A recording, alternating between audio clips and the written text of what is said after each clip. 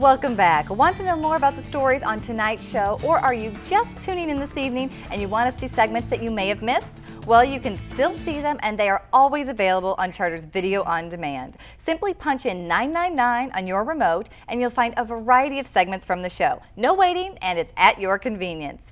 We've been talking about taking charge of your exposure to the sun, being active in prevention, and what to do if you detect a problem. Well, with us now is Mary Phillip, a skin cancer survivor, here to tell us about her ordeal, and with her, Mike Bender from Reflections Med Spa, to give us some information on the latest skincare products products that battle the sun's harmful rays. Welcome to both of you. Thank you. Thank you. Now, Mary, let's start off with you because you certainly went through an ordeal that you never imagined. You had had some sunspots removed before, but you had never imagined that one would turn into such a problem.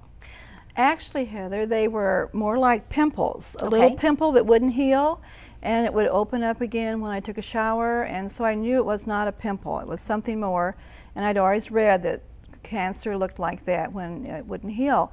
So I did go to the dermatologist. The latest was this on my nose where I had another outbreak. I'd had some removed here before, I'd had some removed here, and the latest though was far worse than uh, I expected. And you had to go through a special procedure with the dermatologist that actually removed all of the cancerous skin. I did. There's a Mohs procedure now, named after Dr. Mohs.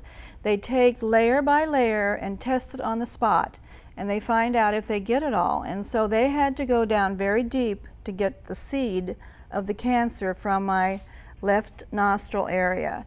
And, and this essentially left you with a large portion of your nose removed, yes, it? it did.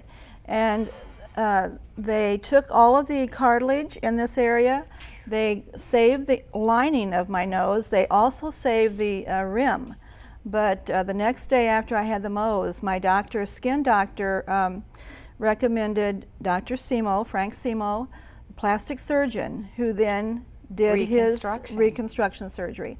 And he did what was called a skin flap, where skin was taken from the center of my forehead at this area, flapped over, and then grafted onto my nose. And before he grafted that, he had to build up cartilage from my deviated septum and from the center of my nose. And it's amazing to think that that's something that came out of what many people would think of as a simple sunspot. You've had this done relatively recently. It's only been about two months. Did you ever imagine, Mary, that you'd have to go through something like that just from simple sun exposure? Uh, never. It was the worst experience of my life. And I hope I never have to go through it again because uh, you have to get it taken care of. There's no way around it. And as I said, it was a pimple type area uh, that actually was affected and was, you know, so deep in there. Dr. Simo said it had probably been growing eight to 10 years. Well, it's a good thing that you paid attention to those signs, and we're sorry you had to go through that, but you know we're very glad that you had a positive result. Thank, Thank you, you very much. much for sharing that. Thank you. Well, you know, obviously, people that are watching don't want to have to go through what Mary went through because that can be very traumatizing. She paid attention to the signs, but how do we prevent those signs from occurring? How do we prevent that damage, Mike?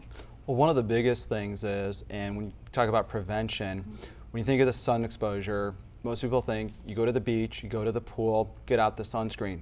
But most people don't think of sunscreen when they wake up in the morning as an everyday task, part point. of their morning routine. And there's products out there, as long as you have an SPF of 15 or more, according to the Skin Cancer Foundation website, you should have SPF on every day? Well, you know, when Mary and I first spoke, she said, I grew up on a farm. I was always outside helping my dad work outside. So for people who are outside in construction, gardening, farming, all of those activities, they need to think about this daily. Yes, and of all the skin cancer types, what's the common theme in every one of them is sun exposure, okay. exposure to the sun. Yeah. So avoiding the sun, knowing your skin type, and going to see your dermatologist every year to have your skin checked is ex extremely important for prevention. And now, in addition to sunscreen, are there products available that can help reverse some of that damage? Well, there's also photo aging. Okay. Photo aging is also, again, result of sun exposure over time. And there's products that are out there. Um, Skin Medica has products out there that are physician-only, medical spa-only products that regenerate the skin. They're there. Normally, you think of aging with the wrinkles, part of the natural, and the tone of the skin changing.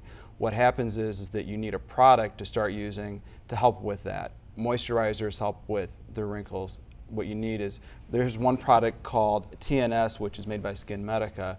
TNS is tissue nourishing system, and what that does, it regenerates the skin, and it also works for photo damaged skin.